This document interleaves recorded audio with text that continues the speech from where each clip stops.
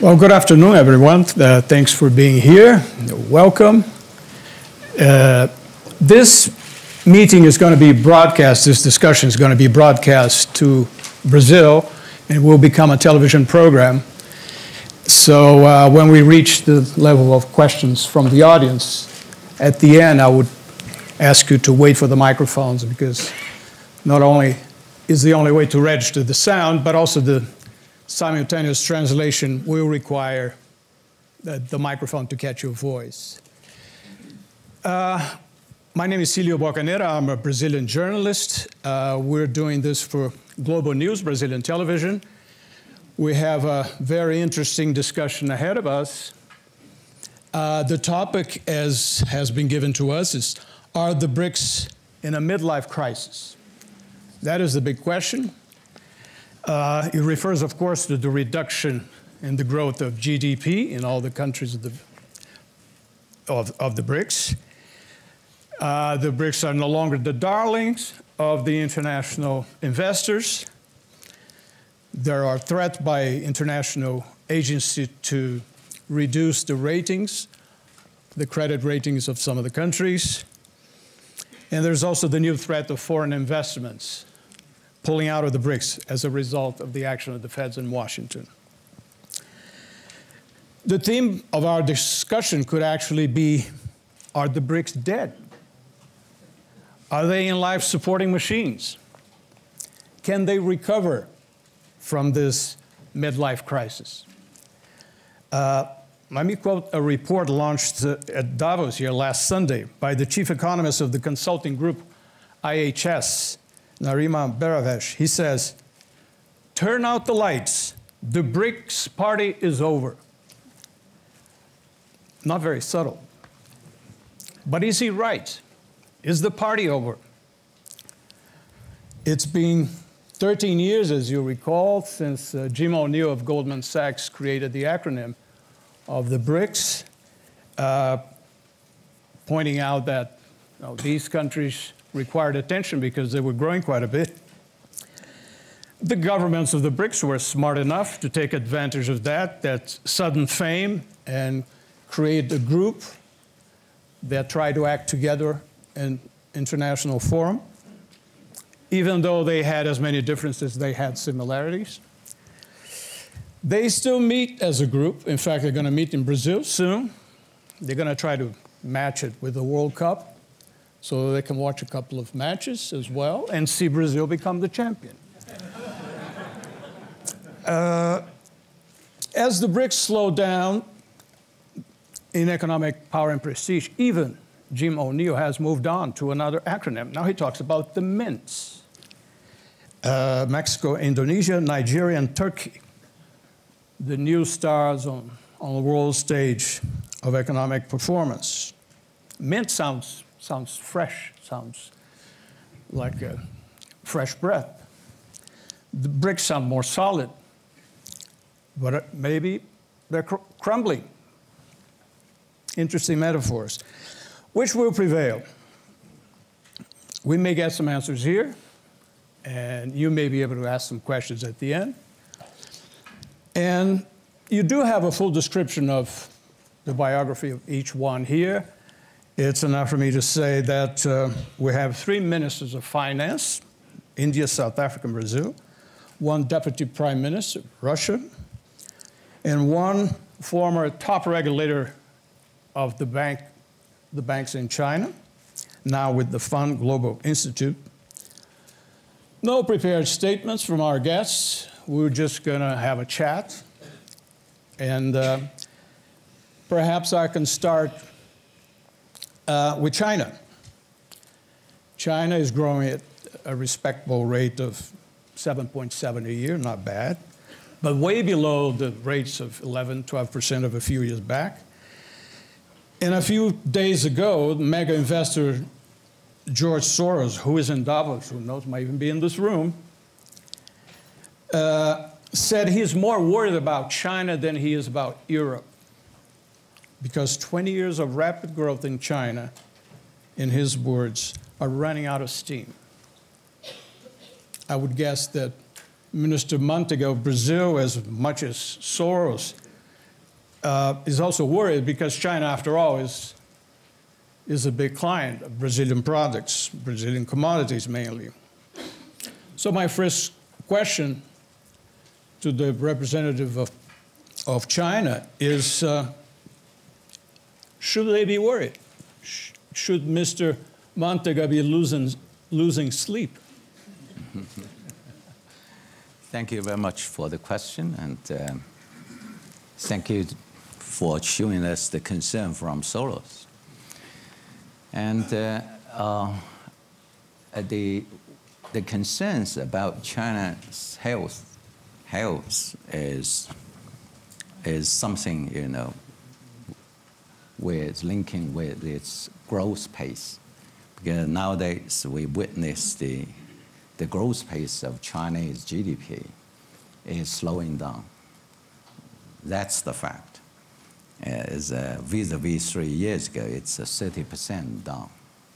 It's a double digit, more than 10% three years ago, and then coming down to 9%, and uh, then 7, 7 8% around, and now is 7.7% or something. And this coming year, maybe it could be slowing down further a little bit, but in line with the performance of last year, more or less the same. But, uh, this is the fact. Uh, caused a huge stir worldwide. But the Chinese government and China people, now they reach the consensus.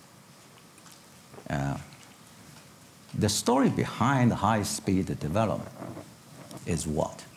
Is credit field fixed asset investment and export driven economy. What do we get? In the past, what we got is just a very marginal fee based income. And some projects are not economic viable. So we realize what remains to the Chinese people is uh, pollution. Okay? They created some jobs, but pollution is with us, it's part of our life. So we got to change this. So it's our own willingness to reduce the speed a little bit. 30% doesn't matter much. So long as we can keep the speed around 6.9% every year, along to year 2020, still we can realize our goal set by year 2010 that we'll double the GDP growth uh, from GDP size of the China, Chinese. So what? 7% is okay for China for the remaining seven years. And we will use that room to maneuver to reduce three things, to do three things.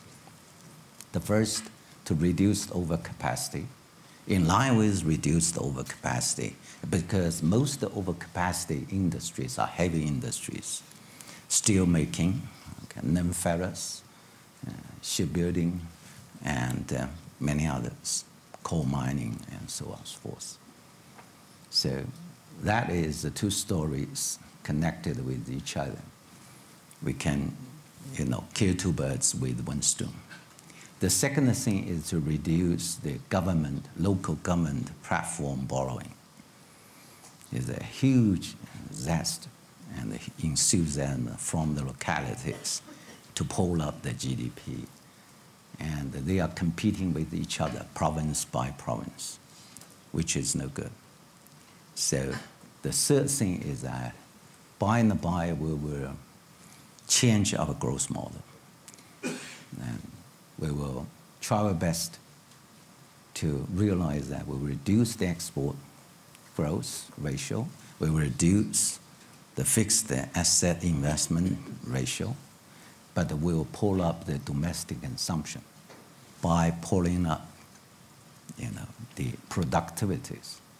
And how we can raise the productivity in China. We will rely upon innovation. We're not relying upon the WTO entry benefits no longer. We're not relying upon the cheap labor and cheap land. Now this time is innovation. And how we can realize the innovation, to pull up the productivity and to raise the income per, per person. So that domestic consumption could be a real story. In five years or seven years, by the end of year 2020, we can initially change the growth model. How can we do that? For China specific, we got to have uh, the boldness, the decisiveness to carry out the reform and the opening up. And that shows our determination. So long as we can balance the decisiveness like that with credibility, I think China will move out the problems. So it's a, it's a top-down decision to change the model. And uh, it's welcomed by bottom It's a huge country. You know, when all of a sudden you decide on a new model mm-hmm. and to actually carry it out has a lot of risk. Uh, what, what kind of risks do you see ahead? Of course, the profitability will be, the profit growing ratio will be going down. Then non-performance assets and loans will be rising automatically, okay? Because it's a trade-off. It takes time to realize that goal. So it's actually, it's, uh, we create something to backfire ourselves, okay? To push us to think about how we can change, how we can change the growth model and how quickly we can do that. But during that process, it's a painful, but no pain, no gain, as saying goes. I wonder if Mr. Mantega feels more at ease now. Will he sleep well tonight after hearing this explanation? Eu não dormi bem esta noite porque o ar. So they can get the phones. Okay.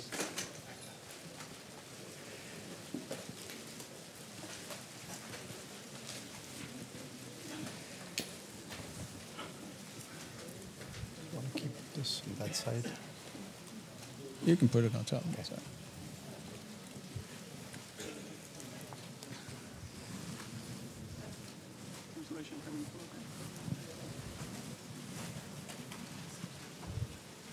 Ready? Okay. You ready? Okay. Eu não dormi bem. I must say I didn't sleep well last night because the heating was too strong in my room. So I woke up in the middle of the night and I was sweating and it had nothing to do with China, I must say, because I believe that China and its economy will be revised and reformed, the model will be changed, and it will continue to be the most dynamic economy in the world, at least for the foreseeable future the, the next decades. I don't think we're facing a, a midlife crisis, us, the BRICS. What I see is a world economy crisis that somehow affected the BRICS by reducing the trade volume, by reducing international demand. Now, of course, the world economy and the developed countries that caused the storm are now recovering. But that recover, recovery is gradual and it's a process. And with that recovery, we will likely have a reactivation of trade growth. Trade before the crisis was growing at a rate of 6 7% per annum not talking, not even considering the, the price of commodities. From this point on, I think commerce will again experience a 4 to 5% growth in the future. It's not going to go back to the levels that we had in the past, but I still do believe that the BRICS will continue to lead that effort in the global economy. But for that to happen, of course, the BRICS will have to be serious about introducing some uh, some reforms. In the case of China, the change in the model is already the subject of discussion under G20 discussions. China has a level of overdevelopment, a lot of idle capacity, and it de depends greatly on external demand. So the model has to be changed so as to create some more internal demand, and thereby decreasing the level of investment or the reliance on investment. We also need to increase investments that are geared to more growth and innovation. I think China is coming out of a phase where expansion was based on a model that is now giving birth to a different kind of setup that will eventually bring about more growth. I think, I still do believe that China will continue to grow 7 to 8 percent over the next decades. It's never going to go back to you know 12, 13, 14 percent as was the case in 2007, the year before the crisis. But I, well, in the case of India also, uh, here's another economy that's going to continue to grow. And again, not at 9 or, or 8%, but at 6%, say, which is already a very, very good level in global economic terms. And since it is based on low income, there will likely be a convergence towards medium, medium income and, and high income. So I believe that in the case of Brazil, change will go the other way, and we're going to go a different way. Uh, for a moment there, you said that the countries, the BRIC countries, will have to change their models. Yeah. What change would that be in Brazil? What kind of model would you change in Brazil? Exatamente o que eu ia dizer agora. Então, no Brasil, nós já temos um mercado consumidor avançado. O Brasil, nos últimos anos, fez uma grande inclusão social. Expandiu a classe média. Mais de 40 milhões expanding its middle class by more than 400 million. It has reduced poverty, so we have a large consumer market that we have built in recent years. We are the fourth world market in automobiles, uh, third in uh, physicians, and so forth. In order to activate this market, we are lacking credit. Credit is still scarce. But most importantly, uh, investment is what is going to drive Brazil's economic growth. And that's why the that's the reason the government is encouraging investment in Brazil. In 2013, investment growth, the investment growth rate was about six and a half percent, a six and a half percent compared to the previous year. That was uh, the fastest growth, growth we've had in foreign investment. We've extended a, a, a large program in concessions for in, for infrastructure. We've been uh, we've held a number of auctions in 2013. Uh, they were very successfully handled. We will have new new uh, auctions for oil and gas, highways, electricity. This year, we will also be uh, opening bidding to ports, airports, and railways. So we have an extensive program of more than $250 billion worth of investment uh, taking, that's not including the oil and gas sector, which is another large number of billions. So we're going to continue that investment. Investment will continue to grow in Brazil. It is a uh, partnership between the government and the private sector. These are concessions. These are licenses. It is not the government that will perform the work. It is the private sector. But that will bring new investment the it, we will need uh, foreign trade. We will depend less and less on foreign trade. Now, as with China, we will have less investment and greater growth. Now, uh, the World Economic Forum published uh, its uh, survey of 700 opinion makers around the world a few days ago, from businessmen to politicians, bankers, etc. And they were asked, what is the biggest risk to the global community in the next decade. You know, expectations, they would say, a new fiscal crisis, uh, climate change, but they actually said it's the income gap between the rich and the poor, which is growing, not shrinking. Some of the BRICS are particularly vulnerable in that area. Brazil is, uh, India is, uh, South Africa. So I would appreciate if you give your evaluation of this conclusion of the highest risk. Well, that's a risk. Um, income inequality and middle class stagnation are risks to every country in the world. In the US, I'm told that uh, real wages have been stagnant for the last 20 years. In the UK, uh, wages have risen slowly, more slowly than inflation. So I think this is true of many countries. In developing countries, the early winners of development, the early winners of high growth, are the well to do. But that doesn't mean we are not lifting millions of people who are below the poverty level above the poverty line. China has lifted about 500 million people above the poverty line. India has lifted 150 million people above the poverty line.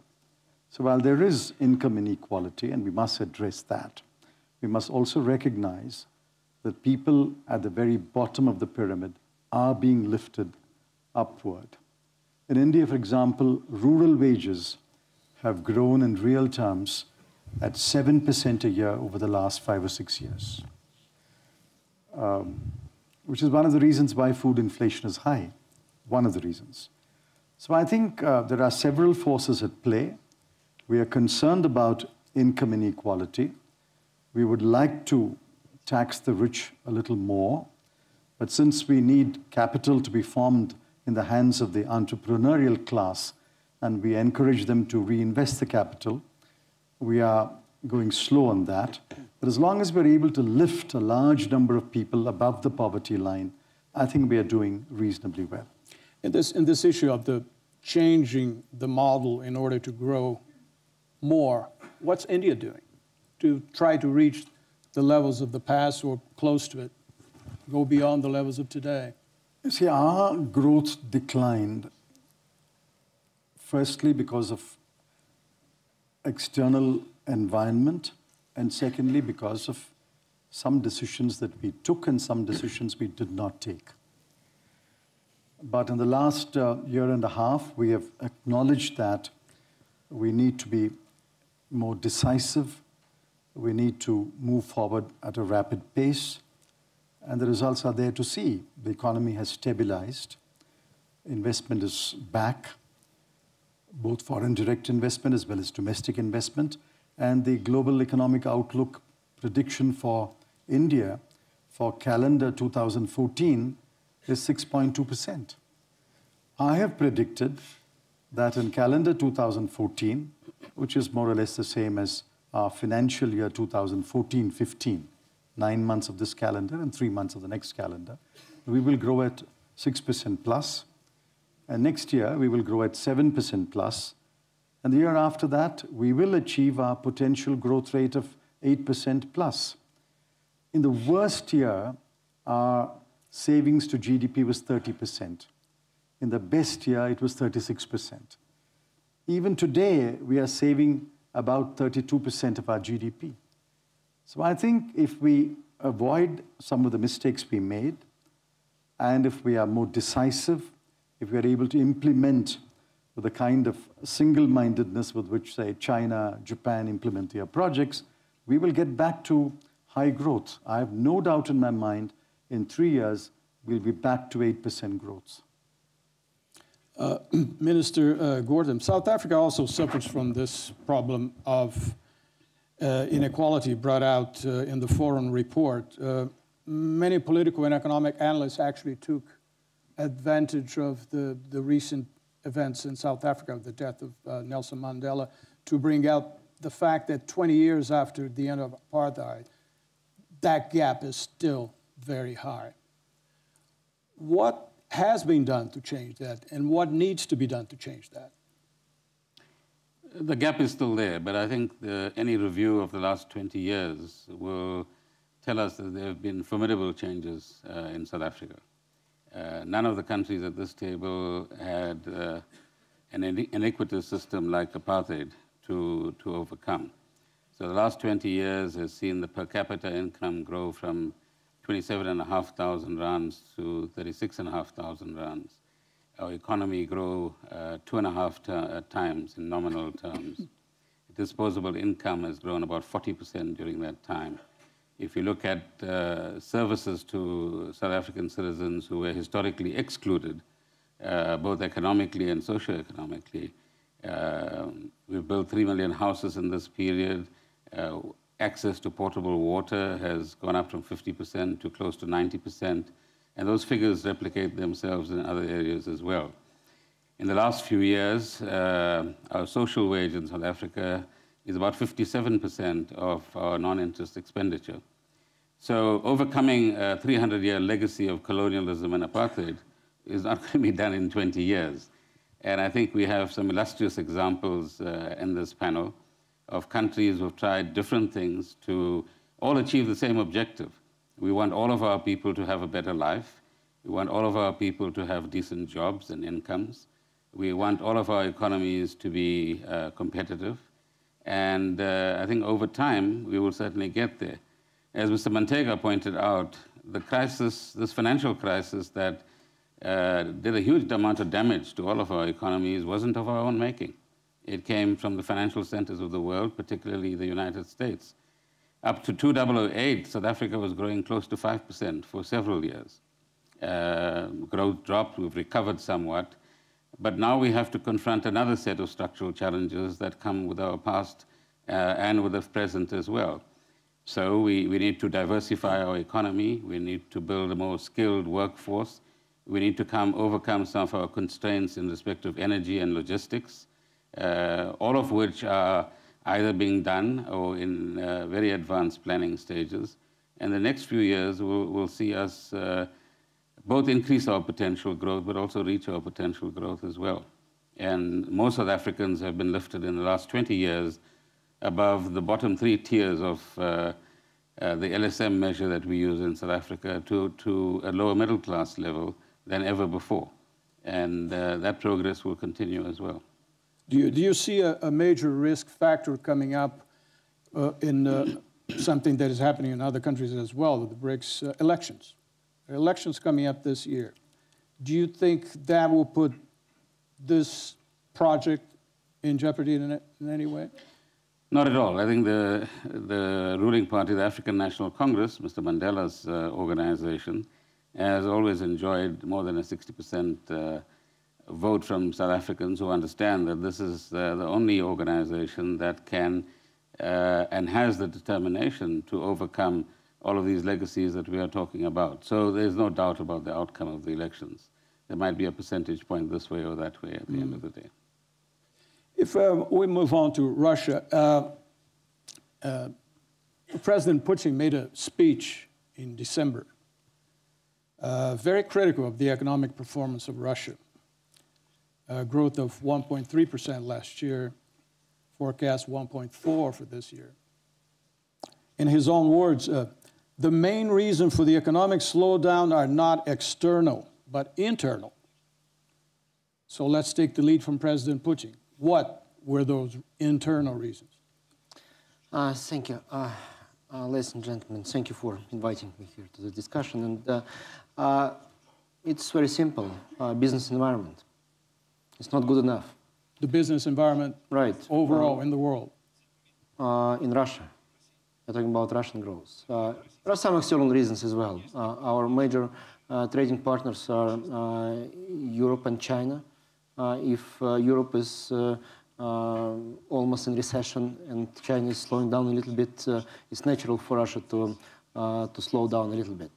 but main reasons are internal. Our saving rate is also 30%, but investment rate is only 20%, even less than that. So 10% uh, um, are not being invested uh, from savings. People don't uh, want to invest more than uh, they, uh, they do.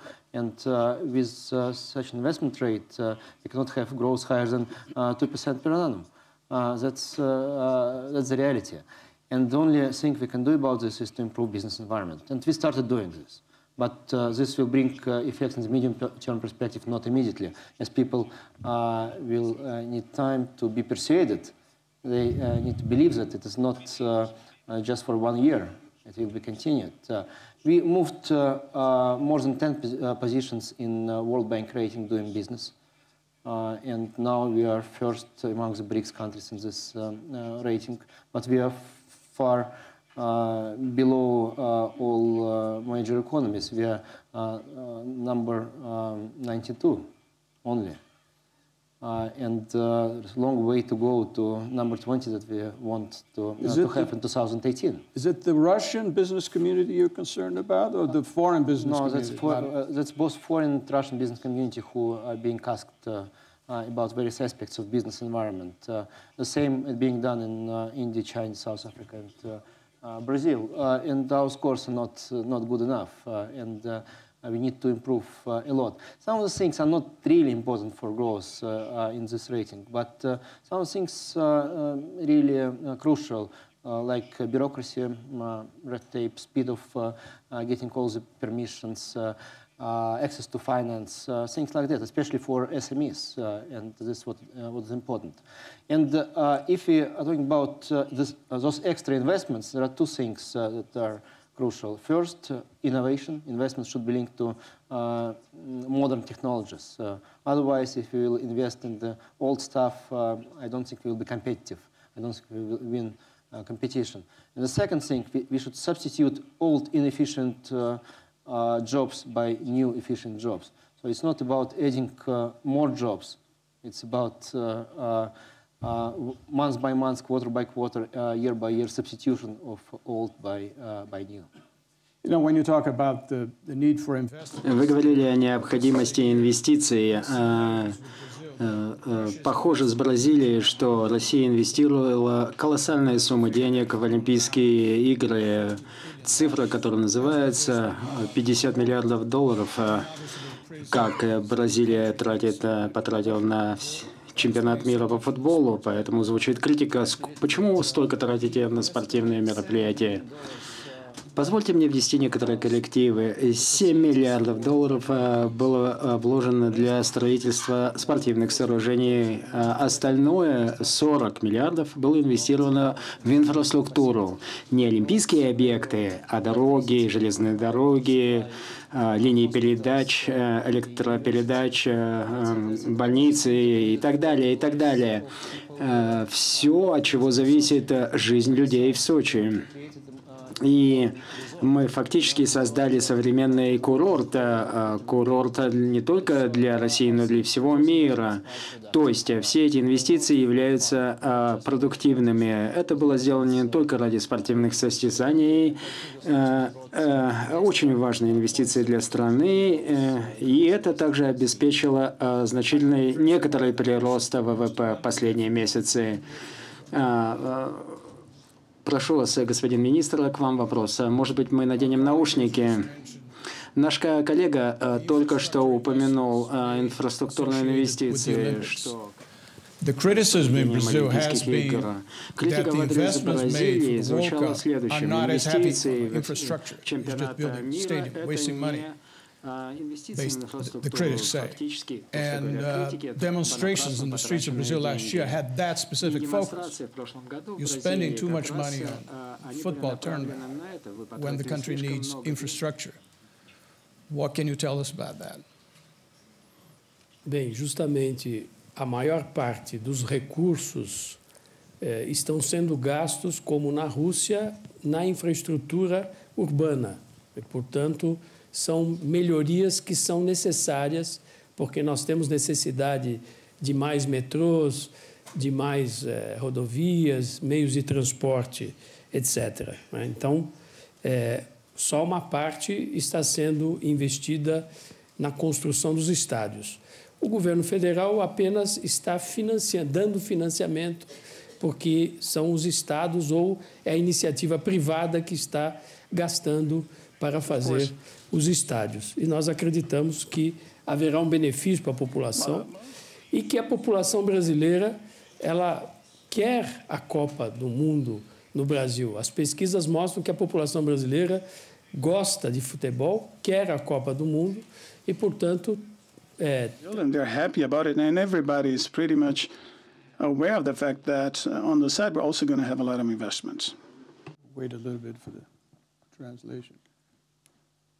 I would like to uh, come back to India on a separate question. It has to do, there's a, there's a big discussion going around the world. Uh, it's been going for many years, but it's got intensive when you talk about the BRICS as well, which has to do with state intervention in the economy. you're all economies where the state has a heavy percentage of intervention. Uh, do you think, in the case of India, the state is just too dominant to the point of creating a, some form of lethargy and hurting the economy? Well, I don't think so. I think uh, the new space that is being opened up is substantially or almost completely occupied by the private sector. The state can't be dismantled overnight, nor should it be. Uh, what happened when US banks and uh, European banks were in a crisis? The state took over the banks. So why do you deny that the state has a role to play? Take our banking industry. We've got government-owned banks, we've got Indian private banks, and we've got foreign banks. And we have promised to license more private sector banks uh, in the next couple of months. So I think there is a role for the state to play, and to wish away the role of the state in a developing economy is unwise and wrong. Likewise, we have public sector companies engaged in steel. We have got private sector companies. We have public sector companies producing automobiles. We don't have a, I'm sorry, we have a private sector companies producing automobiles. We don't have a public sector company. We have a one public sector airline. We have several private sector airlines. So I think as long as the public sector company is competitive and is run on commercial principles, there's nothing wrong in having a public sector company. And there's no reason to dismantle it. There must be a reason to dismantle a public sector company. But as I said, the new space that is opening up is almost completely occupied by the private sector. I'd like to ask you about what we raised in, in the case of South Africa, the upcoming elections. The risk factor certainly much bigger than in South Africa in the election coming up in India. What can you tell us about that? South Africa is in the happy position of a dominant political party uh, dominating the political scene for the 20 years. So did the Congress Party in the first 30 years. But since then, we've had other political parties. Um, it's too early to predict the outcome of the election.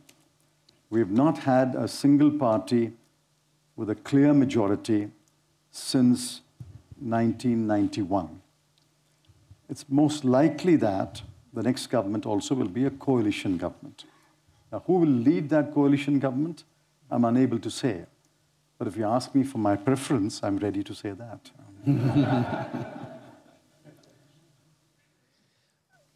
in the case of uh, China uh, and, and another subject, you touched upon it in your first answer. Uh, international analysts are saying that the Bank of China is flooding the economy with excessive money supply, and that there is too much credit. That's the criticism. Perhaps even a credit bubble, such as in the property area. And too many liabilities. The figure that is thrown around is the equivalent of uh, $3 trillion in uh, municipalities in debt.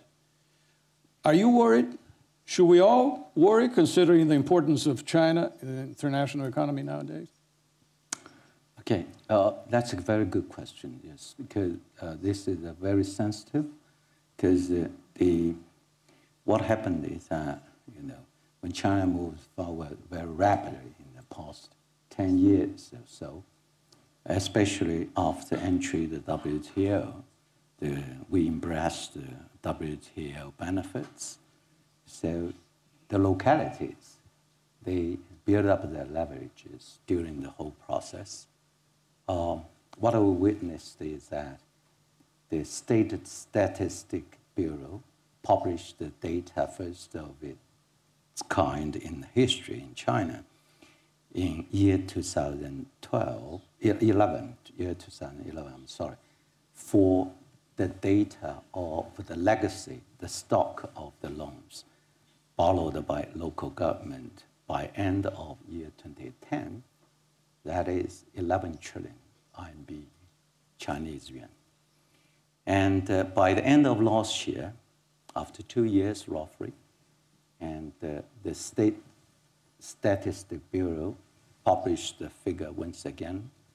The, the latest census showed us that figure came out is coming out is about 21 trillion instead of 11 trillion RMB. You can see the spiral now. And um, the good news is that China is determined to bring the transparency and the information disclosure to the market.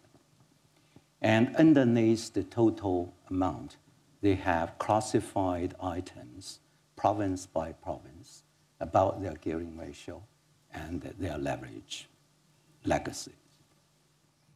Uh, this is a very good practice because you put everything under the same line. And uh, I think it, it, caught a lot of attention glo globally, not only in China. And uh, yes, the figure is increasing. Then next step, people will automatically keep digging. How about the quality of that assets and how about the quality of that borrowing? Where the money goes? So that is a very good question. And we raise these things, put under the sunlight, and let people think. And the next step, I think the, the government already showed the roadmap. The first thing, number eight, is we will set up the new rules and the legislation. And uh, we have clear-cut rules regarding the borrowing on the platforms of local government. Which province could borrow the money, which couldn't? If allowed, what kind of limitation they are facing? For example, they got to do their homework seriously to give the public the balance sheet, cash flow statements, profit and loss accounts, and also they put everything on the website as other tax authorities does. And then they will calculate the funding cost and to disclose where the money goes. And furthermore, the item B is the central government decide to reform our taxation system and make sure that uh, the division of the homework done by the central government, the local government, will be redefined. And according to that roadmap and the redefinition, then the resources will be redefined as well. So that is second step. The rule uh, the rule of the rule out of the VAT reform instead of business tax, the Chinese will wipe out the business tax very soon. Instead, we use the westernized VAT. And that is part of the reduction of the burdens of the local government and enterprises. And that we will nourish more ideas about this issue. And we also harness all the banks to do the due diligence from time to time and once again, and to make sure that the exposures could be measurable and could, the risk could be controllable. If not, then according to the risk exposure, all the banks must uh, build up their capitals and the provisionings extra. So this work has already stopped and it never stops until we clean up everything. Okay, I think it's about time to hear from you. Uh, make sure to wait for the microphone because the interpreter needs it and the recording also requires it.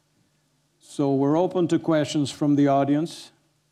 Uh, there's a gentleman here and another one there. Let's take uh, some questions in, in pairs. This gentleman here. Uh, thank you for the opportunity. My name is Salil Shetty. I'm the Secretary General for Amnesty International. Uh, I want to just start by saying that uh, Amnesty International has consistently, uh, sorry, the overall question really is linked to the interplay between economic growth and human rights. I want to see, I want to get some. A question. A question. You're not going to make a speech. No, speech. The question really is about the relationship between the two. Uh, I, would, I want to say that consistently we've exposed the double standards of Western governments about human rights, whether it's the fifth year anniversary of Guantanamo Bay not being closed after Ob- President Obama promised it, uh, NSA snooping from the US government, including the, pre- the president of uh, Brazil. So let's take that as a given. Uh, my question is to uh, BRICS leaders. Uh, the BRICS countries and constitutions have committed themselves to human rights, so that's a good thing. So if is the magic bullet for the next stage of economic growth actually to liberate significant proportions or sections of the population in the BRICS countries to actually have access to human rights, women, indigenous people, minorities, if Good. they get it, uh, do you think that's the breakthrough? The gentleman over here. Thank you. Uh, Marcelo Neri, uh, Minister of Strategic Affairs from Brazil. Um, getting a bit on this question on human rights, um, the, the point that the biggest risk in the world, as pointed in this in the mentioned uh, research that was mentioned, is inequality. How you see intern, internal inequality?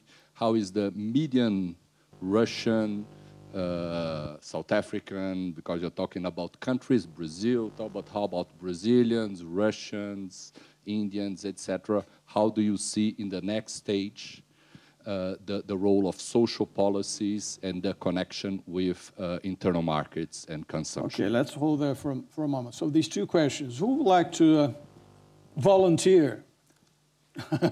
Let's say, since you're closer to me, You're I volunteer volunteer- you. You're volunteering me, yes.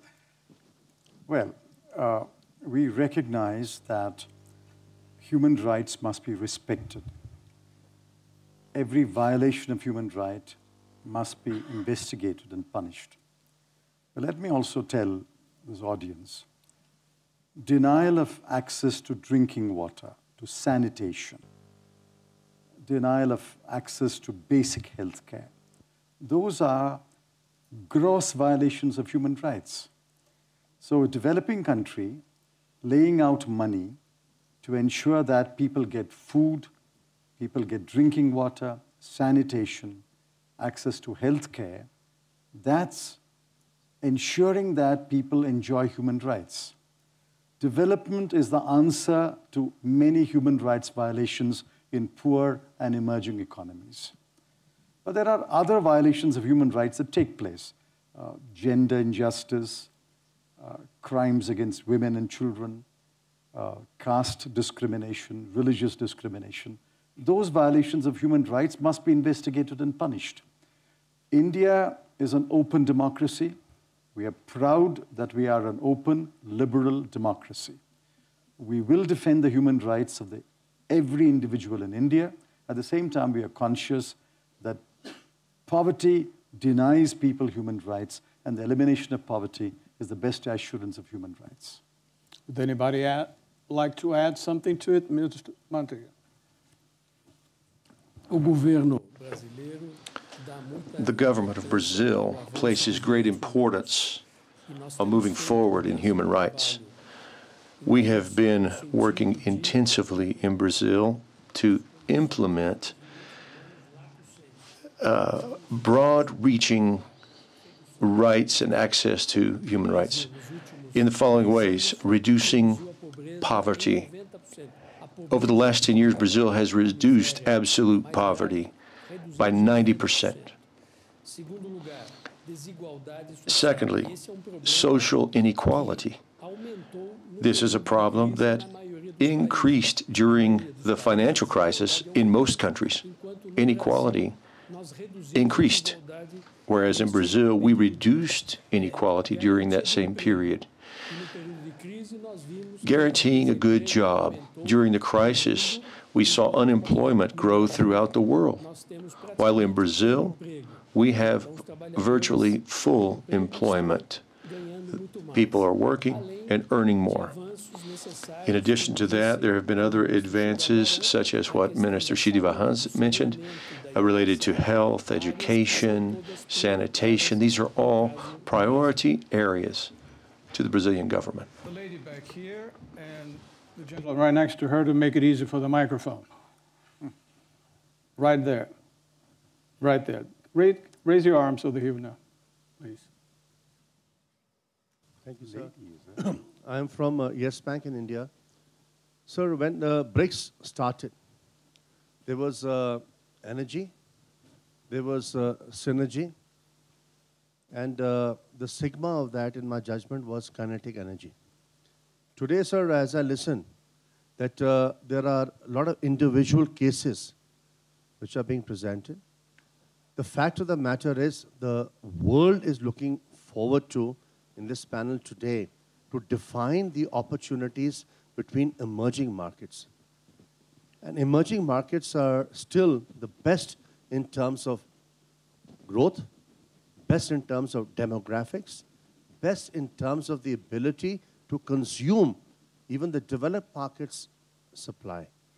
So a lot of our discussions, you know, are somewhat political. It does help to see how can we really connect the economic equation between the BRICS and revive what started with a lot of enthusiasm and is still a very good equation. Thank you. The gentleman there near you.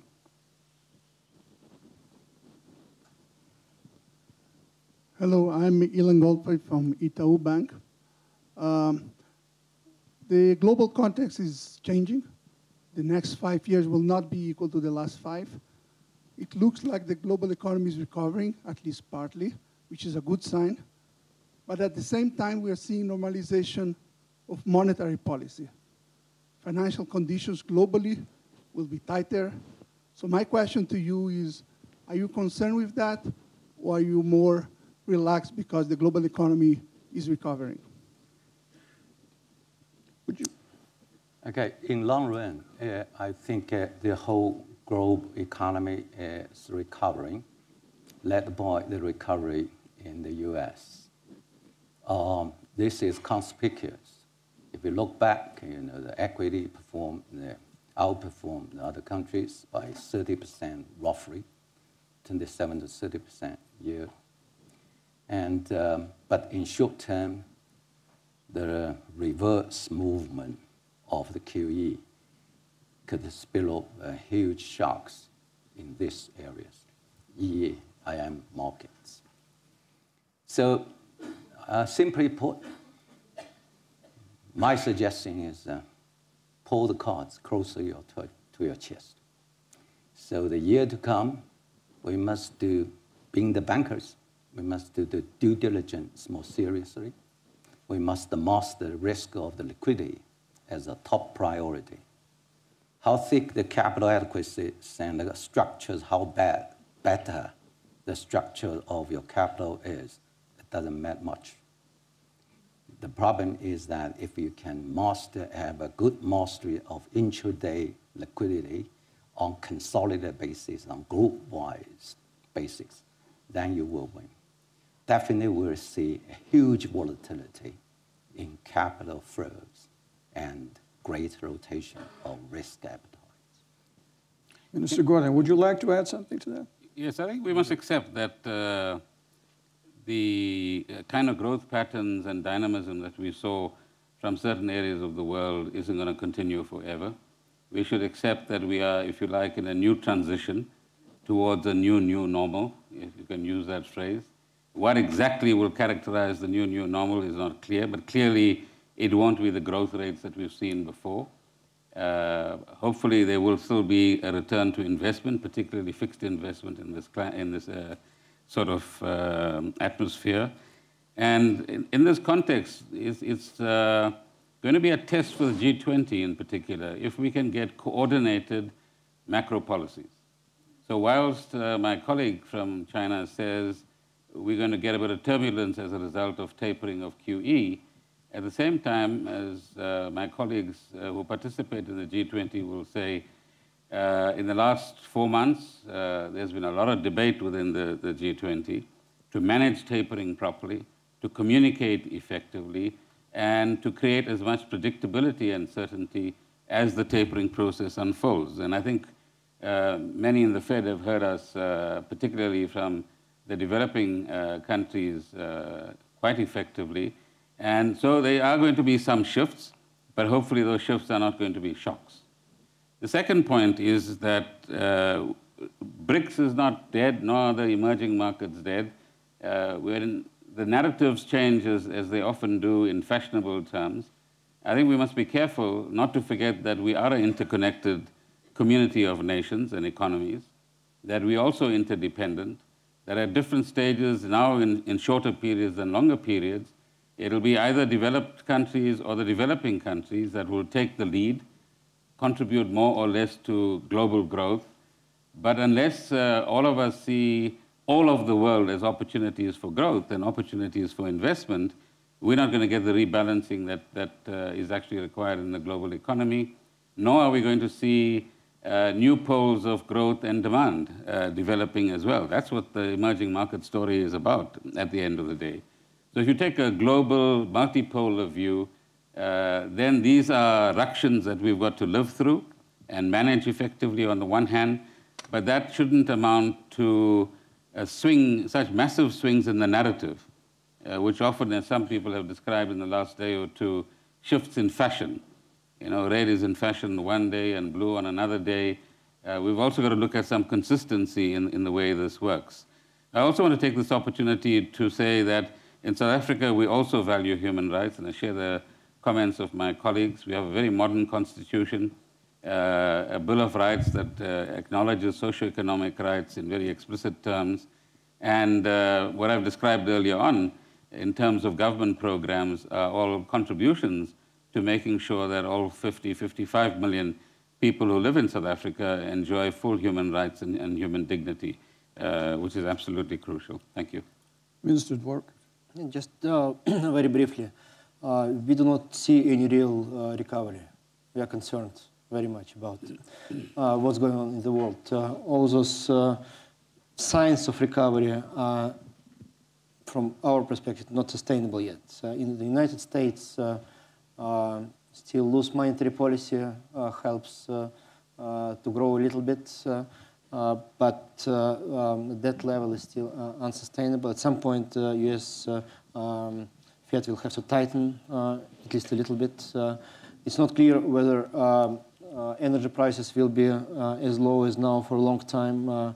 I mean, the shale gas, uh, shale oil development, we just not, don't know whether it's uh, like uh, forever or uh, uh, prices will recover at some point and uh, costs will go up again in the United States. Of course, Russia would like the prices to go up. The rest of the group would like the price to go down. Uh, well, uh, our, our, new sources of, gro of, growth are not uh, in oil and gas. as I mentioned, new sources of growth are in other industries. but more importantly, the Europe well, 0.4 is not growth. Uh, it's, it's 0.4.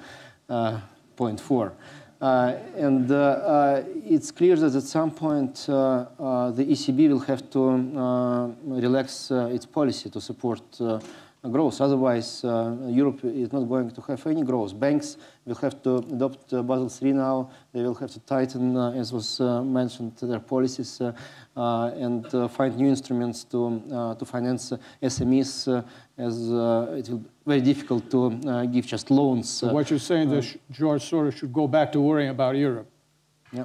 instead of the BRICS. Well, we, we, uh, we, are not separated from the rest of the world. We are dependent on, uh, on, on Europe and the United States. BRICS are uh, uh a part of the global economy. Uh, it's important to understand. Thank you. Questions? The gentleman over here, the lady over there.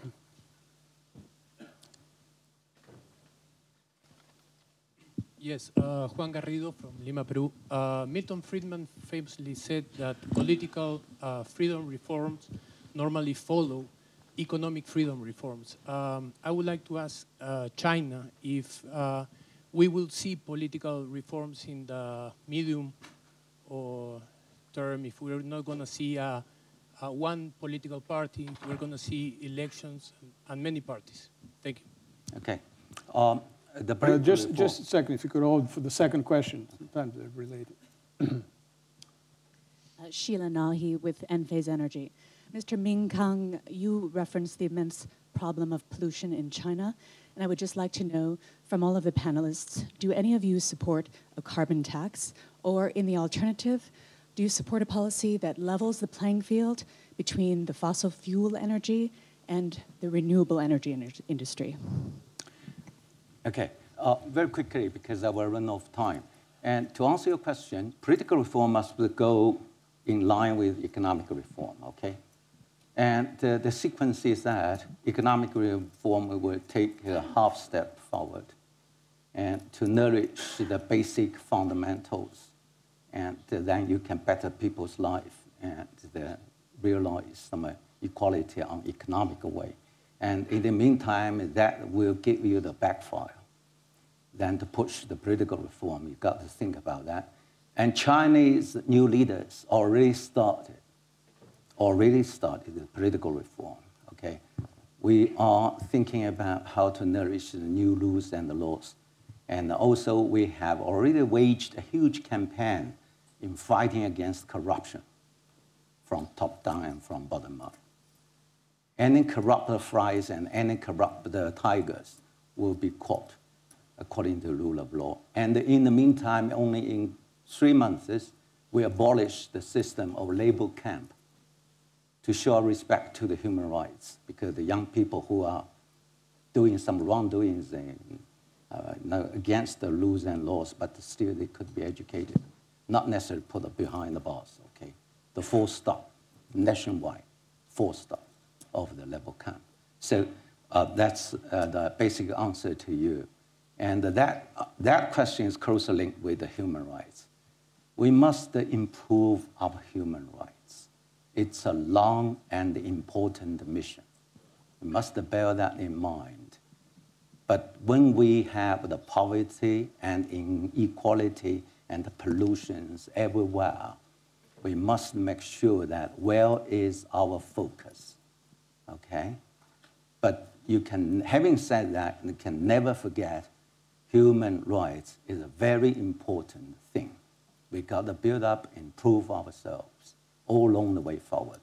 And to answer your question, um, yes, we approve the carbon tax implementation, but make sure that there's no recipe in economic life.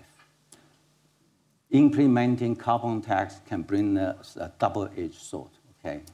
So it must go side by side for the big market like China, side by side with the carbon trade system, the cap and the trading system, to encourage the people and give them motives to move forward to kill the pollutants and uh, to reduce the carbon and monitor his carbon footprint while he's working on. That is something you can never nourish by carbon tax. But the carbon tax is very, you know, feasible and very quick. But in long run, you got to bring the market force to be a decisive one, to motivate people to do the right things in long run. China is start to do that. If you want to see the cap and the trade system, please go to Guangdong. Mm -hmm. And if you want to talk with the carbon tax scheme, you can talk to the MOF people. They'll nourish the scheme very quickly.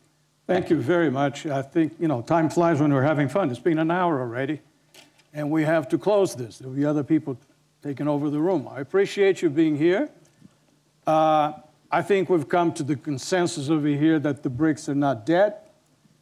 They may be taking a nap, but they will wake up soon. I'm not sure everybody agrees, crisis. but do we have a midlife crisis? no midlife crisis either. No. Maybe they just need You're to buy far, a sports you're car. far from midlife. Thank you very much. Young. Thanks for coming.